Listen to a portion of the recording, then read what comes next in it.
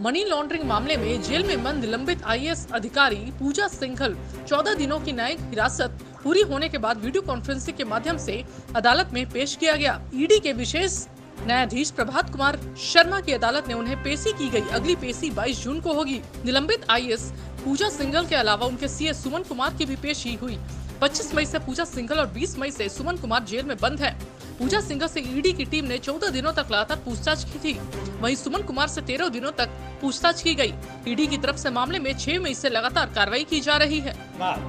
उन सभी एक्यूज जो 10 एक्यूज उसमें हैं, सबों के अगेंस्ट में आज समन जारी हो गया है और उन्हें 20 को ये अपियरेंस के लिए डेट रखा गया है। आज ईडी केस में पूजा सिंघल एवं सुमन कुमार का प्रोडक्शन का डेट फिक्स था।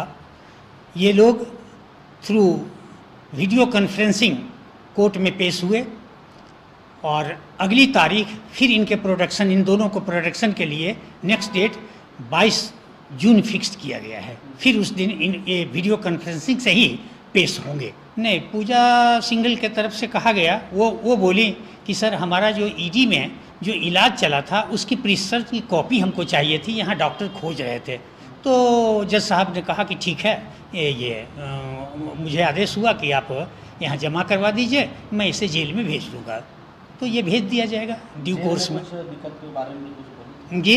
जेल में कुछ दिक्कत तो नहीं के बारे में? नहीं ऐसा कुछ पूछा पूछा भी नहीं गया ना वो बताइए क्योंकि जेल में किस तरह की दिक्कत है ऐसा। को था इंट्रोगेशन का जो ये ईडी कस्टडी में थी वो लगभग पीरियड पूरा है इसलिए अब कोई सवाल ही नहीं उठता है वो फिर कस्टडी में लेने का।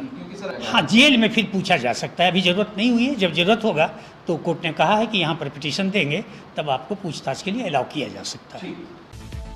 अपने राज्य से जुड़ी हर ताज़ा खबरों के लिए आप हमें सब्सक्राइब करें साथ ही बेल आइकन बटन दबाना ना भूलें।